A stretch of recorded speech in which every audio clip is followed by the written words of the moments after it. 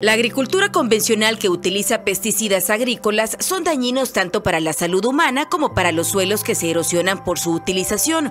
Por eso, diferentes comunidades en Usulután aprenden a sembrar y cultivar de una forma alternativa. Este día eh, hemos estado eh, elaborando unos productos orgánicos con personas de diferentes comunidades eh, alrededor de 20 personas que están este, inmersos en un proyecto que tiene que ver con este, producción eh, orgánica. La Asociación Mangle, que cuenta con años de experiencia en la organización para mejorar las condiciones de vida de la población en materia medioambiental y con equidad de género, trabaja en conjunto con las comunidades para transmitir el conocimiento sobre la implementación de la agricultura orgánica. Sabemos de que la agricultura orgánica es la respuesta hacia cambiar esas formas tradicionales de producción y de vida que hacen que la, que la salud humana esté cada vez mejor.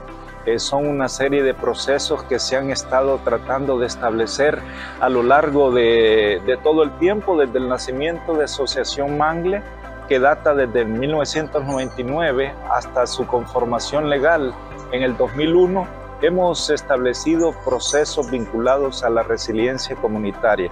Son 10 comunidades del departamento de Usulután que ya utilizan el método de agricultura orgánica para mejorar las condiciones del suelo y cuidar su salud de una manera amigable con el medio ambiente. yo mi dedicación ha sido a la agricultura en pequeño, me ha gustado hacer milpas, sembrar de todo lo que da la tierra.